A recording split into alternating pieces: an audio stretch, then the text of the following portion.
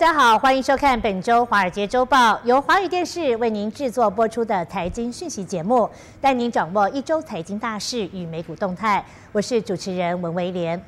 上周二，美股结束了连续八天的上涨走势，主要是受到了十年国债值利率攀升到百分之三以上的冲击。而在当天呢，道指是收盘跌了近两百点，之后股市就都处在一个震荡的走势，涨跌都在两位数字。在消息面上，除了美债直利率一度飙上百分之三点一二的七年新高，减少了股市的吸引力之外，中美贸易第二回合谈判的紧张气氛也为股市投下了不确定的因素。而另外，在技术层面上，美国股市事实上在过去两周已经是涨了近六个百分点，那么接下来盘整一段时间，似乎也是一个正常的情况。而到周五的时候呢，三大股指收盘是涨跌不一的。道琼收盘是微幅上涨了一点，最后收报在两万四千七百一十五点。标普五百指数是下跌了七点，最后收在两千七百一十二点。纳斯达克是下跌了二十八点，跌幅比较深，收在七千三百五十四点。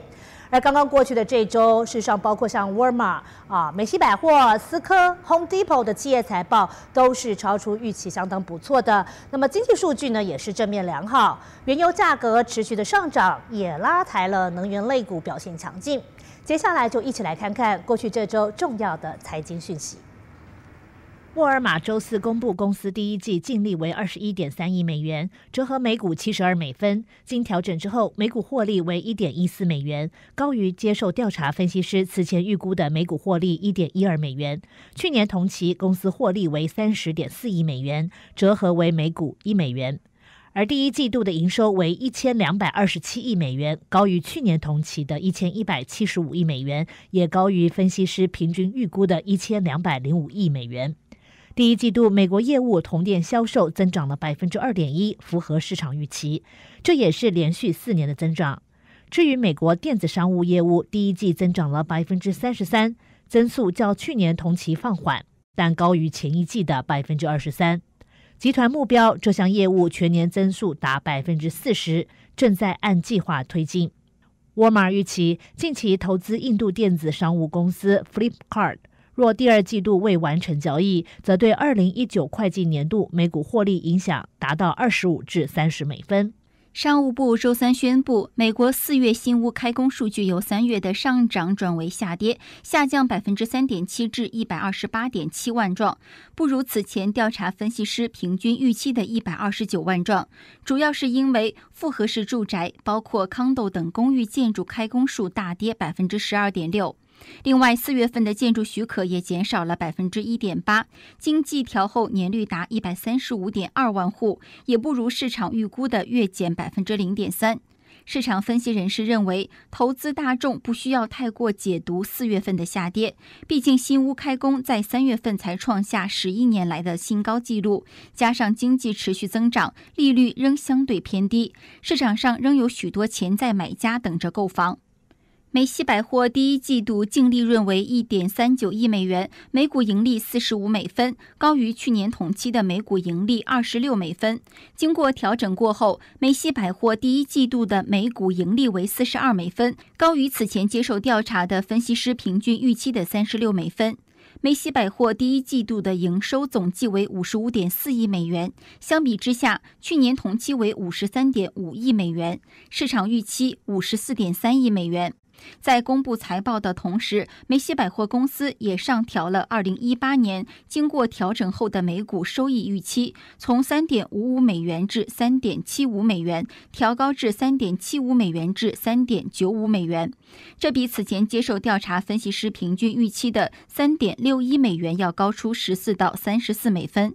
梅西百货的股价今年至今为止上涨了百分之十八点八，在过去的十二个月时间里上涨了百分之三十一点二。Home Depot 今天早上公布集团在二零一八年财政年度的第一季业绩报告，录得盈利有二十四亿零四百万元，按年增长百分之十九点三六，结合每股盈利有两块零八，表现好过分析师平均预期的两块零五。不过在营业收入方面，虽然都有录得增长，不过就不及预期。集团在期内的营业收入按年上升百分之四点四四，达到二百四十九亿四千七百万元。低过分析师平均预期的两百五十一亿六千万元，是自二零一五年第一季度以来，集团的季度收入首次不及预期。而第一季的同店销售同样是差过市场预期。集团在第一季度的同店销售增加百分之四点二，低过市场预期的增加百分之五点三八。一般来讲，春季都是集团的销售旺季，因为屋主都会在每年的这个时候添置家具设备，购买改善家居及装修的材料及用品。不过，由于本土部分地区的寒冷天气，今年较迟才结束，春天来得迟，拖累到集团的春季销售表现滞带。石油输出国组织 OPEC 拥有十四个会员国。从八零年代开始，该组织开始为成员国制定生产目标，透过减少石油产量推升油价，或者是相反而行。OPEC 近年来和非成员国一同合作实施的减产协议，就是透过逐步减少各国产油量，减少供过于求的石油供应。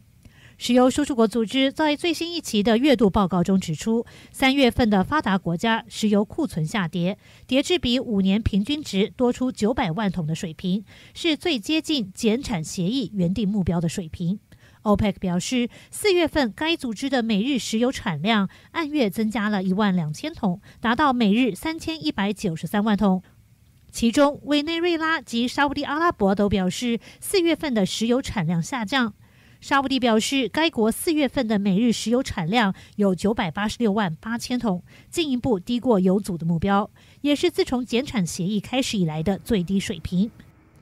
美国股市这波多头行情，从两千零九年三月份至今，已经走了九年多，创下了史上第二长的多头走势。华尔街多家投行呢，从今年初就纷纷在预测啊，这波多头行情究竟何时会走完？摩根士坦利银行在本周就具体的提出预测，表示今年夏季股市可能会出现最后一波涨势，高点将会落在今年的下半年。不过，分析师也提醒投资人不用过度的担心，这波下行走势跟此前的金融危机所造成的屠杀行情是不能相比的。投资人只要慎选股票，还是能有不错的投资报酬。而此时大家更是要做功课，慎选有行业前景优势的个股。同时，也要有做好长期投资的心理准备。不过，分析师警告归警告啊，他们也强调，美国的经济融景应该还可以再持续两年。而在此期间，投资人应该呢是要做好心理准备，重整自己的投资策略与组合。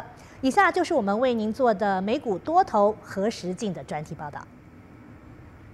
摩根士坦利银行在本周发布的报告中宣布，美股的多头走势或许还未结束，但却可能将要结束了。他们预测，今年夏天美国股市可能展现出最后一波涨势，并于下半年出现高点。该公司分析师安德鲁席兹指出，这波多头市场的上档空间已经有限，市场上几项利多因素已经变成了利空，包括世界经济成长将会减缓。通货膨胀终于上升，华盛顿的焦点已由减税转移到了关税，还有联准会看来恐怕会加速升息。这些因素似乎都在改变，而且同时改变。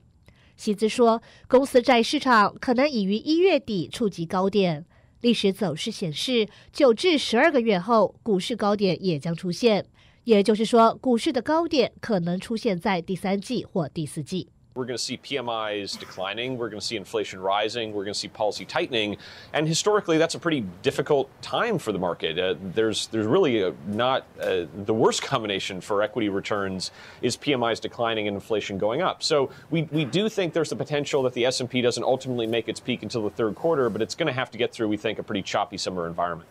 不止摩根士坦利对股市的态度谨慎，美银美林在五月初进行的一项调查结果也显示，约有六成的基金经理人说，他们相信股市可能于一月份已出现了高点，也可能在今年稍后触及高点。这波多头市场由两千零九年三月开始，至今已创下了史上第二长多头走势。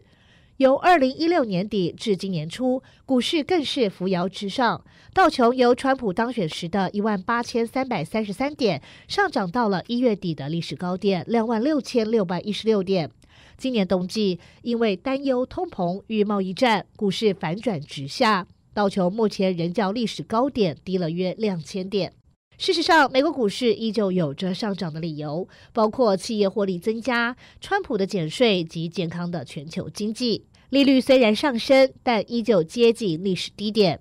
现在预测进出场的时机极为困难，甚至危险。投资人此时只能谨慎面对，做好准备。当股市已没有太多上涨空间时，投资人就进入了选股非常关键时期。在此背景下，摩根士坦利建议选股方向应该放在公司竞争优势的可持续性、商业模式、定价力量、成本效益等基本问题上。而小摩建议持有的公司包括了亚马逊、谷歌母公司 Alphabet、摩根大通、Visa、微软、雅斯兰黛、联合保险和迪士尼等。小摩分析师建议投资人这些股票要长期持有。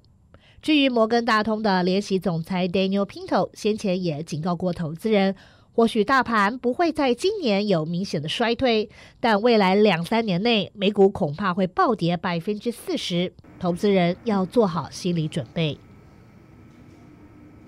总结来说，过去这周美股是处于没有明确方向的整理格局。美国与中国和欧盟之间的贸易问题会如何解决？美债直利率会持续攀升，还是会停在目前的水平？是下周的关盘重点。不过，如同分析师建议的，现在与其指望大盘带动，不如好好研究究竟有哪些行业个股有潜力在经济停滞期抗跌，甚至是逆势成长。毕竟股市是经济的先行指标，要走得比别人快，才有制胜的机会。